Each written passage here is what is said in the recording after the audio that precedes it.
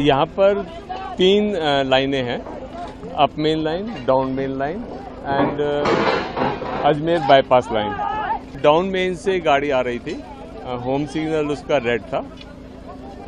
उसको जो पायलट्स को कंट्रोल करने में थोड़ा वक्त लग गया। इधर से दूसरी गुड्स ट्रेन मेरी क्रॉस कर रही थी।